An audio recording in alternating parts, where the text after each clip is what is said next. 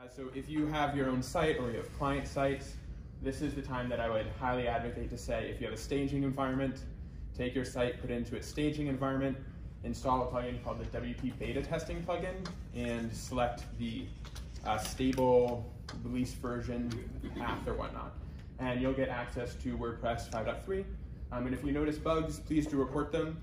Uh, there are never enough people submitting uh, bug reports when WordPress 5.3 is in testing. Uh, but then when it comes out, everyone reports all their bugs, and then we have a new bug release that happens like a week later.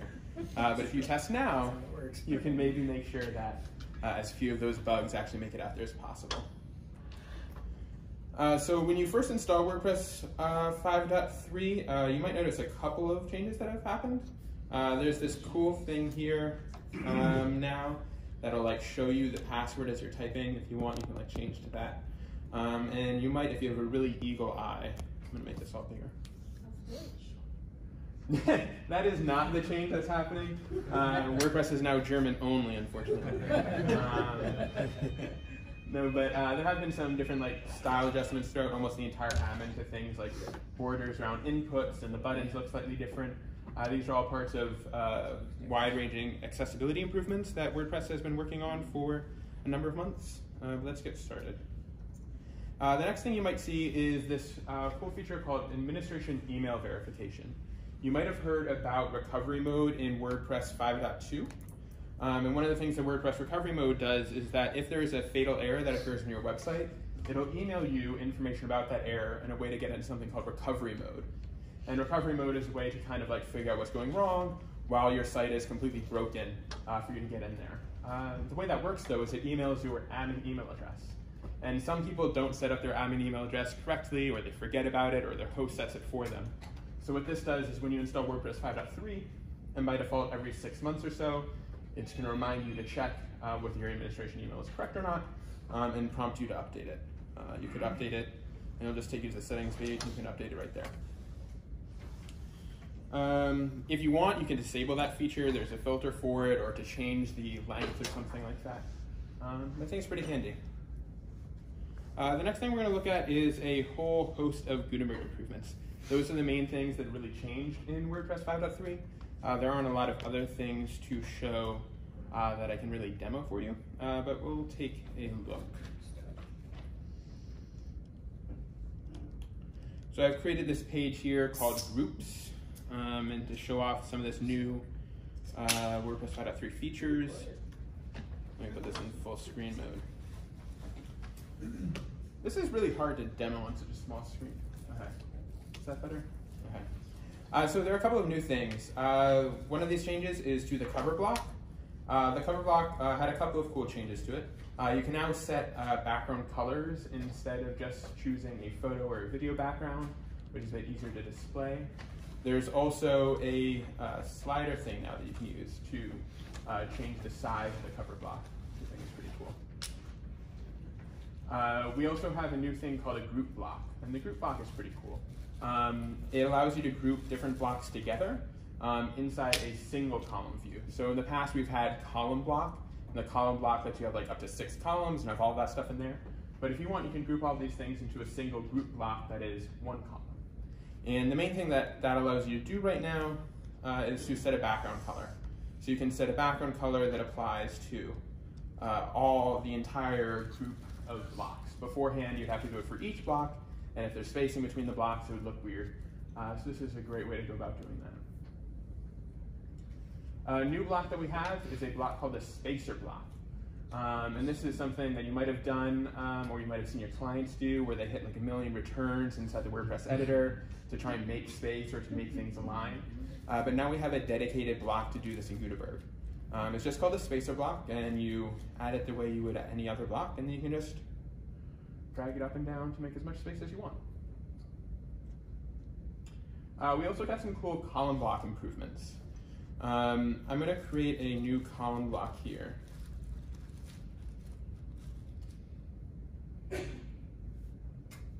And one of the things that's cool about it is it starts off now with a prompt to do different layouts. Uh, so you can pick like a small column, wide column, wide column, small column, three smaller columns, the traditional kind of like three column wide center column uh, thing, and all of that works there, and it'll give you a quick way to get access to this kind of stuff. And it'll prompt you right there with the sizes already selected. If you want, then of course you can kind of like adjust things back and forth, and Gutenberg figures out what you want to do. Um, but if you're trying to do some more advanced layout type things, um, I think this is pretty handy. Um, and there are a couple of new improvements to the Columns block as well. I'm going to show it uh, to you in this existing one here. Um, so we have this page uh, here. This is built with a column block. And one of the things that uh, is new in WordPress 5.3 is aligning individual columns. Uh, so I can go into here, and then I can select vertically align top, vertically align middle, vertically align the bottom. And this is aligning the actual blocks that are inside of the actual column. So if you want to do some more cool layouts, things like that, you can do that. You can make things appear in different areas, uh, up at the top, at the bottom, um, all that kind of stuff. Uh, let's see. Yeah. Um, there are some other miscellaneous improvements to different blocks. For instance, the button block now uh, has a way to customize the border radius, which is pretty nice. Uh, so you can make your block style however you want it to be. Uh, by default, uh, in uh, 2019, it's a completely square block, uh, but different themes might have different defaults, but if you want to change it on a case-by-case -case basis, you can just do that now. Let's see, what other blocks do we have? Those are the main things uh, in terms of new blocks um, and block modification changes. Uh, something else that I've changed though that's pretty cool that might be a little bit hard to show again on such a screen like this, uh, but is there's been a whole bunch of like animations and small things that have happened uh, in the block editor. So before, if you were to move a block up and down, it kind of just like jump right into place. Uh, but now when you use this block mover, it kind of tries to, doesn't work so well when you're super, super zoomed in, uh, but it tries to maintain uh, the position that you're in um, and move everything around it. And I think that this, it's one of those really small things that makes a surprisingly large difference. Uh, when things are kind of like animated in this, it's a bit easier to like picture what's actually happening and make it feel like it's actually working on a page. Um, and all these things moving up and down. At least I found it a bit easier to track uh, where things are going, what's actually happening. This still looks a little bit weird if you move it by hand. Like for instance, there's this weird kind of like scroll thing that has to happen there. And that looks a little bit worse than it uh, normally would just because of how we're zoomed in.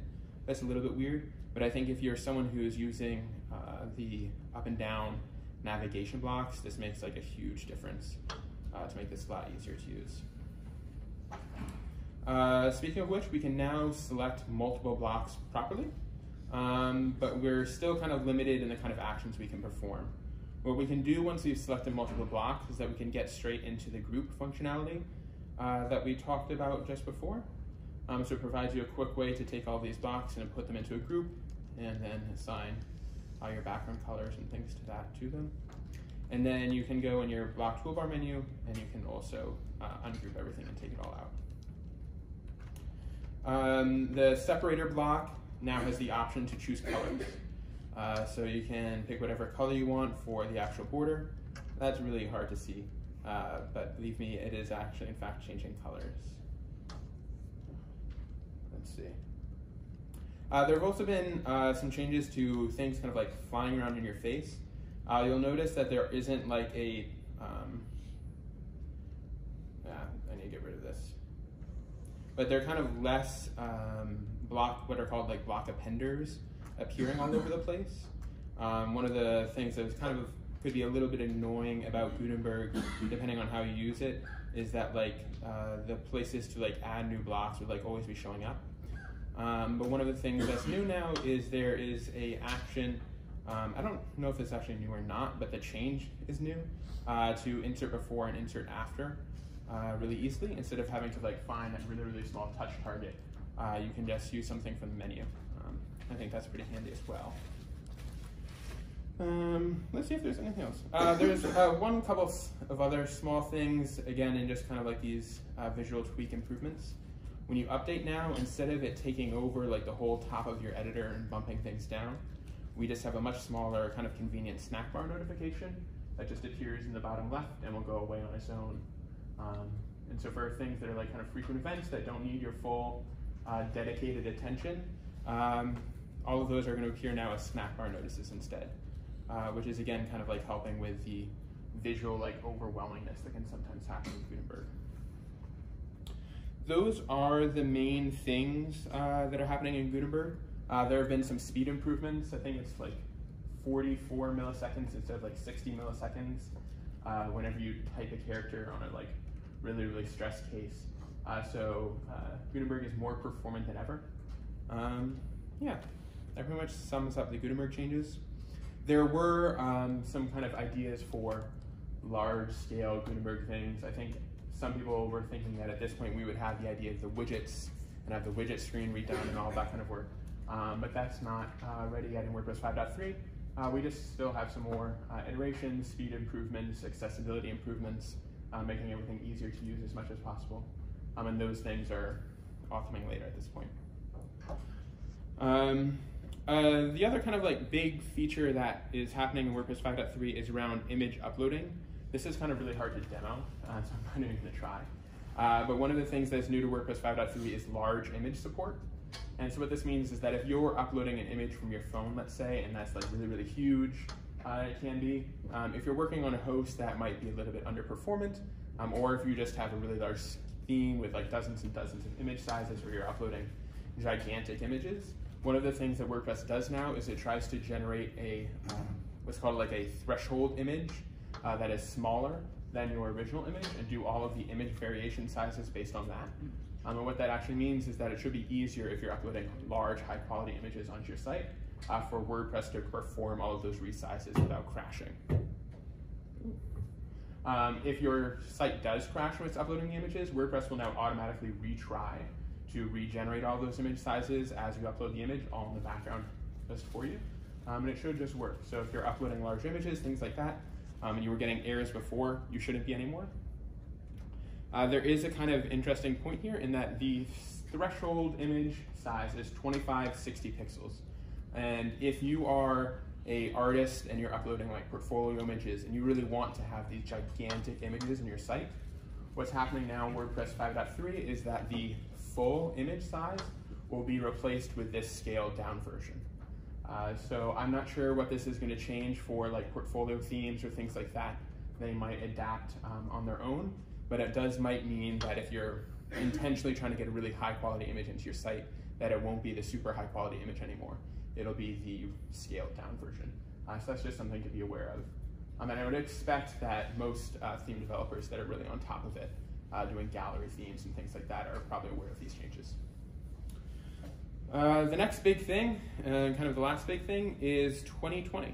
Um, 2020 is the new uh, default theme in WordPress. Um, it's pretty cool. Um, I think it's really like the first theme uh, that is a default theme that's really truly made for Gutenberg. Um, you can kind of see that in uh, this kind of demo page. It, this looks essentially identical uh, to what it did inside the Gutenberg editor itself. Uh, whereas before, I think we still had some struggling bits there.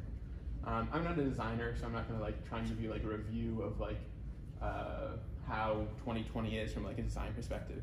Um, but I think it's a really, really cool uh, default theme with some unique attributes to it. Like it has this menu here, and this is a completely different menu.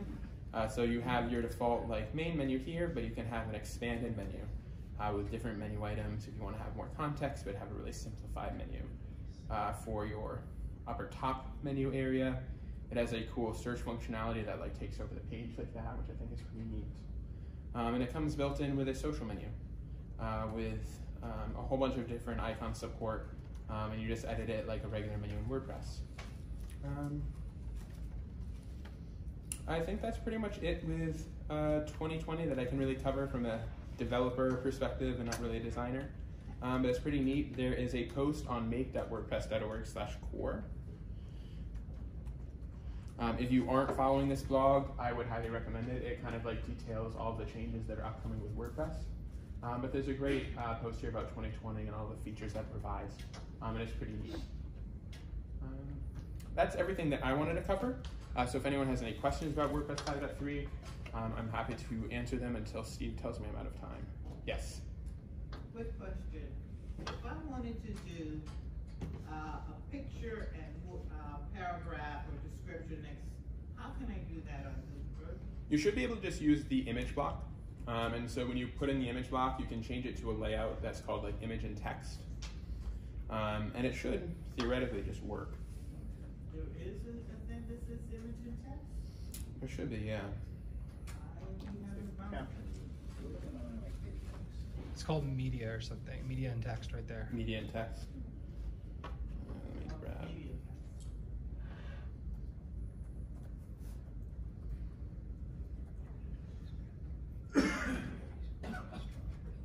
Yeah, media and text. Okay, thank you. No problem. This has changed a lot. Um, in Gutenberg, there used to be like a kind of like different way of doing this, but I think this is kind of the new way forward. Um, there used to be like a thing with like dragging images, you'd have the whole thing. Um, but I think this is probably one of the best ways to do it. You can also do it now with the columns block, they're pretty flexible for that. Um, yeah. Any other questions? Yes. A couple of things. Firstly, uh, on blocks, can you sort blocks? Uh, in what context do you mean? Suppose you have, um, doing something like an outline view. Suppose you have two columns, blocks uh, horizontal, and you number them. Can you sort them? I don't think so, no. You could probably build a plugin to do that. Any other questions? Yeah, I, Uh, let's go to someone else first and I'll come back to you. Yes. Uh, can we change the color of headings? Yeah, that's a new change um, in WordPress 5.3 actually. Uh, you can now uh, change the text color for heading blocks. Uh, so this is that one, and I now go to color settings. You could change this to white. Yeah.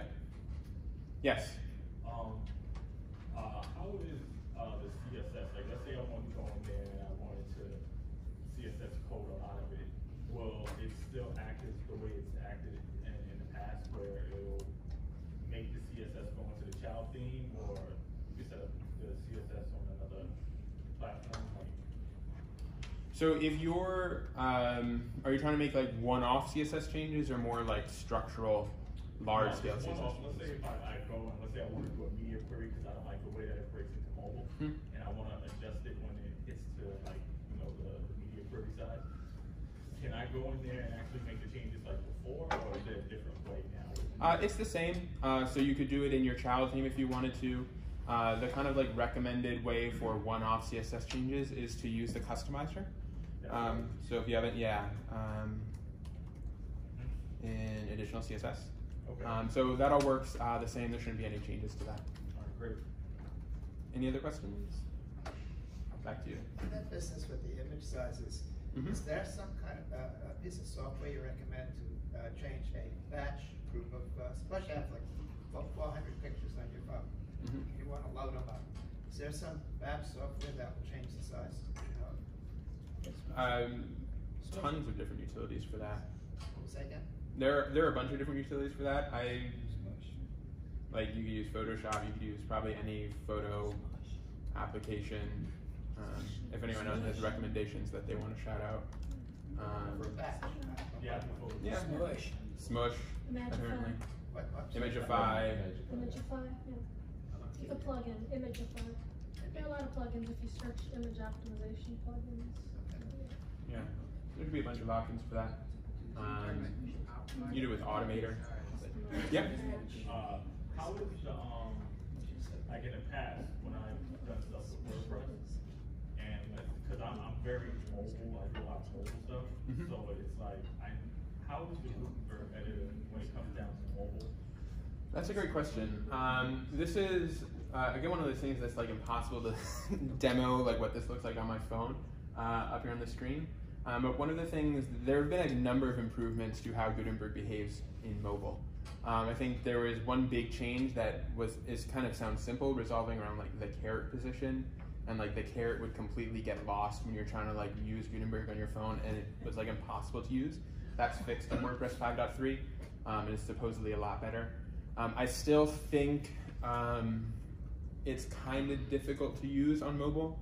Um, if you're just doing your basic kind of like text writing, um, it can be good. But like for instance, I wouldn't want to try and like edit these uh, column blocks that already like are pretty much impossible to like properly click on the right things on mobile. Um, I think there still isn't a great solution for that yet. Um, one of the cool things that is being worked on is the I don't know what the state of it is recently actually um, of the WordPress uh, mobile apps. And so the mobile apps have like I think at this point like partial Gutenberg support for like some blocks and things like that. I think when that becomes fully evolved, uh, that would probably be the best way to go about editing in Gutenberg, just because I think you'll have a lot of benefits from it being like the actual like app code instead of like running in a website. But there have been a lot of improvements. I still think it's difficult, unfortunately. Yep.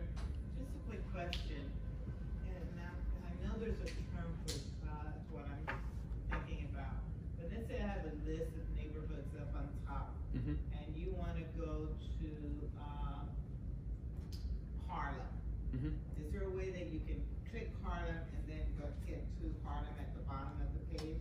Yeah. Um, so there is a um, somewhere in the advanced settings. I know there's. If you click a heading. but- Is it only headings? Yeah. Yeah. Uh, the HTML anchor. So what you can do is you can add in some anchor text here, and then when you create a link, um, you would put in the hash sign, and then whatever anchor text you put there next to the heading, uh, and that'll generate it. I think there's also a table of contents block that's like third party that someone has that will like automatically do that based on the headers that are already in your document. So if you've already set it up so that you have header, header, header, header, header, I think there's a table of contents like block that you could just put at the top of your post and it will automatically generate all that stuff for you. Ultimate blocks, I'm being told. Yep. Uh, Has the uh, ability to import uh, tables from either Google Sheets or Excel been perfected? Um, I couldn't tell you. Um, there have been some improvements to table blocks generally. Uh, you now have the ability to specify header and footer rows for table blocks, and you can align columns uh, left, center, or right inside tables. That's new to 5.3. I don't know if there is an equivalent. Um, I think there used to be like something in Tiny MCE where you could like paste from a spreadsheet like that. Um, I couldn't tell you to be honest. Um, I think it would, but I wouldn't be able to tell you for sure. I for, uh, I had a plugin for, for that, Mhm. but it really didn't work well at all. Yeah. And I'll look what into was that. the table? I'll look into that. I don't know off the top of my head. We're good. We're good? One more question? Translator is enabled. I saw some translator. Can you, Uh, like in terms of do you want to write posts in multiple different languages? yeah, Um, this is this area I don't know a whole lot about in terms of translation plugins. Um, I think for the most part it kind of works the same way that it did pre Gutenberg, um, in that I think a lot of these plugins create different versions of the post, so you'll have the same post and you can copy it from your English version to whichever other language you want to translate it in, and then you essentially write the whole post again. Um, I don't know if anyone has any other resources to share about that. It's a good plugin. G Translate apparently is a good plugin for that. I've used WPML. WPML, yes, That's is the one. the best, most extensive one. Yeah. And it actually will give you, like, the UI and the, the admin will say, translate this into this language. Into the different things. And then it will give you a, a whole new post with, with the copy of the English content, and then you can just.